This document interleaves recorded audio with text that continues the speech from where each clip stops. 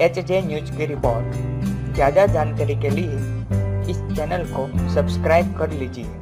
आपने बहुत से चमत्कार देखे होंगे, पर जो आज हम आपको बताने जा रहे हैं, उसे सुनकर आपके होश उड़ जाएँगे। माँ की कोख में बच्चा नौ महीने रहता है, उसके बाद उसका जन्म होता है। लेकिन कभी आपने ऐसा सुना है कि किसी इंसान को मरा हुआ मान लिया गया हो, लेकिन वे फिर ज़िंदा हो जाए, ऐसा कई बार सुना होगा। लेकिन मरा हुआ इंसान किसी को जीवन दे जाए ऐसा चमत्कार आपने शायद ही कभी सुना होगा। जी हाँ साउथ ब्राज़ील में एक ऐसा वाक्य सामने आया है, जिसे देखकर मेडिकल जगत भी हैरान हो गया।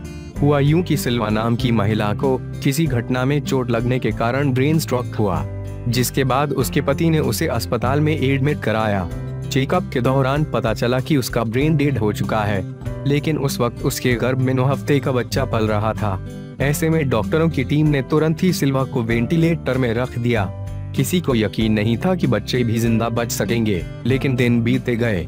करीब एक सौ तेईस दिनों बाद ब्रेन डेड सिल्वा ने जुड़वाम बच्चों को जन्म दिया। सिल्वा के पति को यकीन नहीं था कि पत्नी के ब्रेन डेड घोषित होने के बाद भी उनके बच्चे ज़िंदा रहेंगे। अब भविष्य में देखना यह होगा कि बच्चे सामान्य बच्चों की तरह व्यवहार करते हैं या नहीं।